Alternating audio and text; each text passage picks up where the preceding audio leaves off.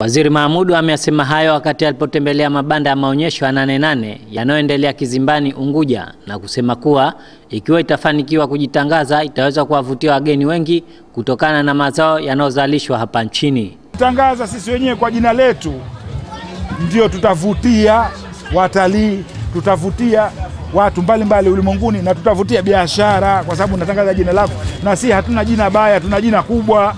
Zanzibar ni jina kubwa. Naomba niseme mie Zanzibar, ingawa India ni kubwa mara elfu moja kuliko Zanzibar, lakini Zanzibar ina mvuto mkubwa sana duniani. Haya maonyesho yanasababisha kuwa ni kiungo kati ya manufacturer au mzalishaji na yule mtumiaji anayetumia mwisho, inakuwa linkage. E, maonyesho ya biashara hivyo hivyo, watu wamepata kuuza bidhaa zao. Kuna watu sasa hivi wanauza pilipili ya Zanzibar nje ya nchi.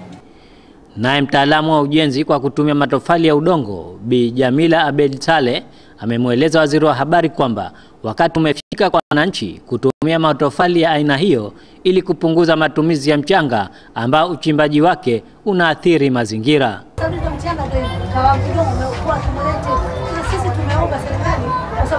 Wanajua hiyo teknolojia, wapi uko mwingi, wapi walipojiweka, watu wa haya ndio washafanya research na wanajua, nendeni hapo mkafanya. Kwa hivyo sisi tuko tayari na wale watu wa South Africa wako tayari na sisi kufanya kazi pamoja na kufanya hata training center ya kufundisha mafundi wakaja wakafanya hivyo na tukawauzia hata hizo mashini baadaye, na wakafanya. Kwa sasa hivi badili ya mchanga tunakwenda sasa hivi kwenye na udongo.